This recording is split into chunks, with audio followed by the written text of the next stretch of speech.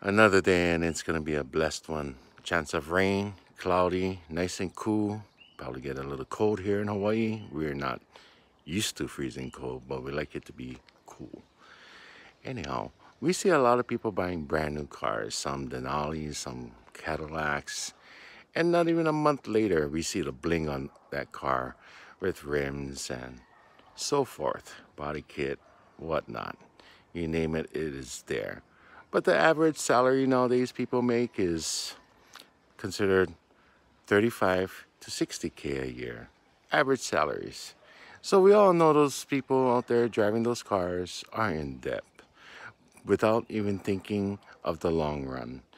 If you look into the long run, medical conditions does occur. It's like a driving abstract. If you get a bad driving record, of course, insurance carriers are going to raise the price or not even cover you.